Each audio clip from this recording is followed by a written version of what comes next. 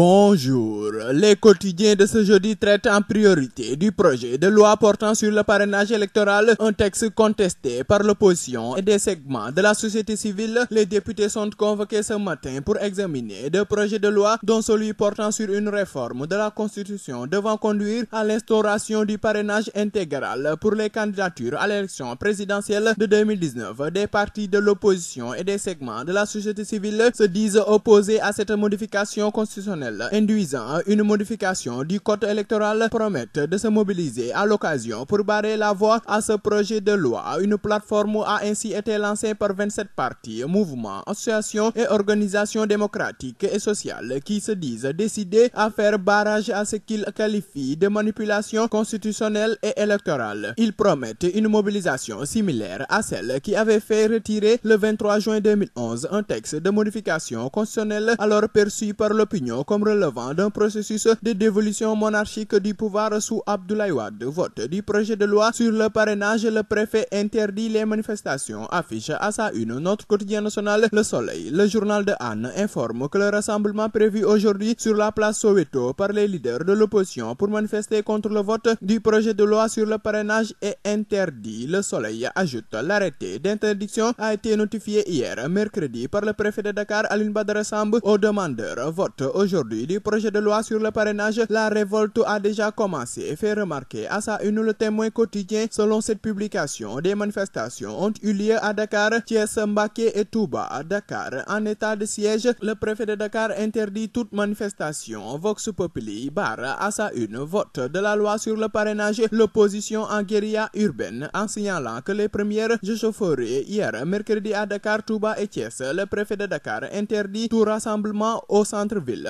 Gakou passe outre et lance les hostilités. Vote du projet de loi portant révision de la Constitution un jeudi sous tension, titre de son côté Libération quotidien. La France déconseille le plateau à ses ressortissants des écoles fermées. Le préfet interdit la manif. L'opposition dignette. Police et gendarmerie sur les dents renseigne le canard. Pour sa part, Enquête quotidien souligne vote ce matin du projet de loi sur le parrainage. Dakar retient son souffle abordant le même sujet. La cloche écrit à sa une le projet de loi sur le parrainage à l'Assemblée nationale aujourd'hui. Maki contre vents et marées pour le canard. Pour la publication, aujourd'hui c'est jour J. Même s'il est nostalgique, revisite l'histoire récente, ça ne peut pas être le 23 juin 2011. C'est jeudi 19 avril 2019. Tout court. Et à l'Assemblée nationale, c'est jour de vivote ou de mornay. La loi sur le parrainage en plénière, le vote de tous les dangers, écrit Walfadjri quotidien. Vote du projet de loi sur le parrainage 19 avril de tous les dangers, renchérit la tribune. Vote de la loi incluant le parrainage dans la Constitution, le Sénégal retient son souffle. Note aussi Sud Quotidien plénière pour examen du projet de loi sur le parrainage confrontation inévitable fait remarquer l'As Quotidien. Vote de la loi instituant le parrainage, guerre de loi affiche à sa une l'observateur. L'opposition et la majorité jouent à se faire peur. L'Église demande le retrait des projets de loi des écoles du plateau fermées. Dakar Remdik retient ses bus en surveillance, signale la publication du groupe Futur Média. Le